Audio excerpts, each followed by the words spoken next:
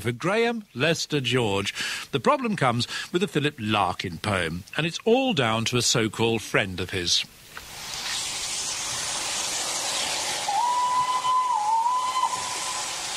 My friend Alan has got a lot to answer for. It was he who messed up the Whitsun weddings for me. I've always loved that poem, and whenever it gets requested on Poetry Please or such like, I'll tell the kids to shut up or I go into a different room and switch on another radio so that I can listen to it in peace.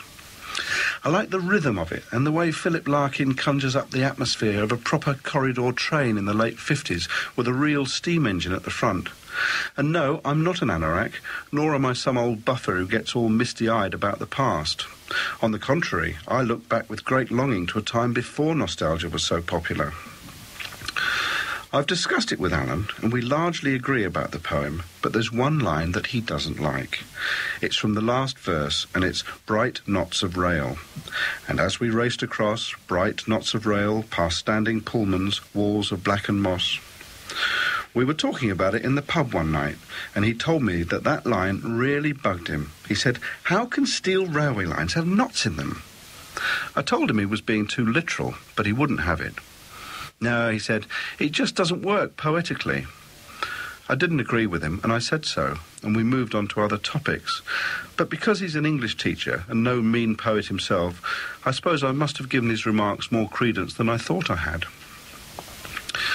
The very next time it was read out on the radio, I was cooking, I think. I shooed everyone out of the kitchen and settled down to slicing peppers or whatever, and prepared to enjoy the poem. Usually they get some almost famous actors to read on these programmes, and they usually read really well. When I hear the Whitsun weddings being read well, it's like a film starts to run in my head, a short and well edited film of a train journey.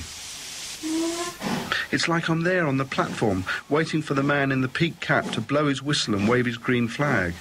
I can see that long, almost empty train pulling out from Hull station with all its windows down on a hot Saturday afternoon. I can smell the smell of the fish stocks drifting into the compartment. And it's all that brilliant imagery that conjures up the modern English landscape. Froth floating on canals and greenhouses flashing and all those acres of dismantled cars. And then the deft little rural touches such as hedges dipping and rising and wide farms and short-shadowed cattle.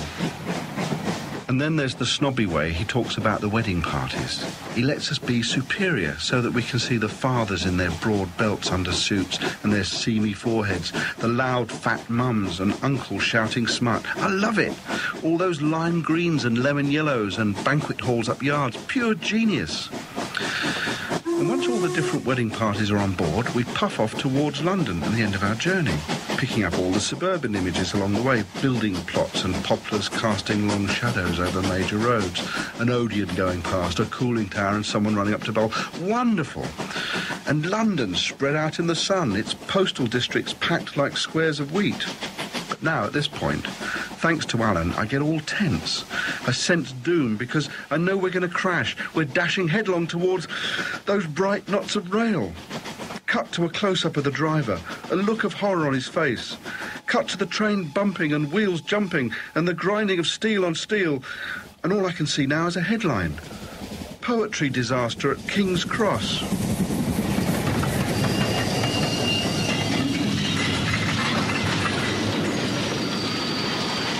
Sometimes I think I'd like to get my hands on a piece of railway line and tie it in a knot round Alan's neck.